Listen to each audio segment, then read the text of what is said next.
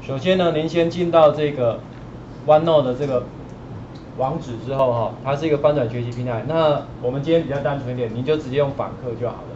好，直接用访客，您划划过这个访客登录这边，在这里呢，您可以取得一个按下就取得一个访客代码，有一个八位数的。那如果您下次要进到相同的，就是你已经加入群组，有学习过的资料，有阅读过的记录，还有你的笔记，通通就在下面这边输入相同的代码就好。那如果不要，你要用新的也没有关系。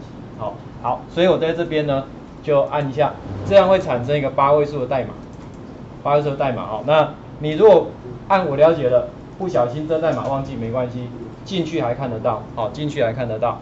所以在右上角这里有没有？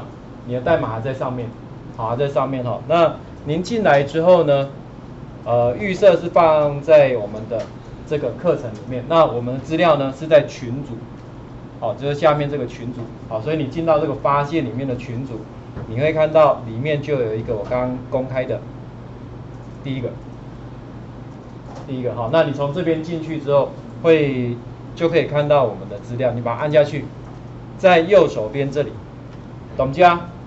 要自己按一下加入哦哈，你不要等人家来开门哦。好，你没有按就只会停在这里哈，请你按一下加入。好，那你按一下加入之后呢，就会进到我们里面来。一样的，你也可以看到这个简报哈，所以简报的档案您可以直接从这边进来也可以，好，或者是进到 one 那里面都 OK。那进来之后呢，在讯息的旁边有个叫任务，那我就把一些跟 Webduino 相关的资料我就摆在这边了。所以您如果有需要，也可以在这边直接做浏览的动作。你把它打开之后，哎，就直接连过去，这样也可以。好，这个是呃，我们就搭配一个这样的翻转学习平台，让各位可以比较方便的去看这些内容哈。